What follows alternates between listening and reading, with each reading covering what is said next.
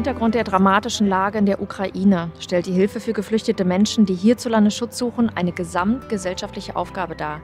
So leistet unsere Gründungsstifterin, die LEG, einen wesentlichen Beitrag, indem sie Wohnungen zur Verfügung stellt. Und wir als Stiftung ergänzen das Ganze, indem wir für eine Ersteinrichtung und Ausstattung dieser Wohnungen sorgen. So finden die geflüchteten Menschen von Anfang an ein echtes Zuhause, also einen geborgenen und sicheren Wohnraum bei uns in Deutschland vor.